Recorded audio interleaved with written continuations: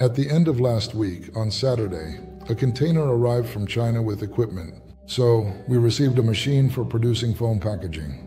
This packaging is intended for packing fairly large motors, for example, those used to drive the propeller of the Motilock 305 size. In particular, the blade will also be packed there, as well as the controller. That's why we were waiting for this machine. And finally, after a long wait, it has arrived.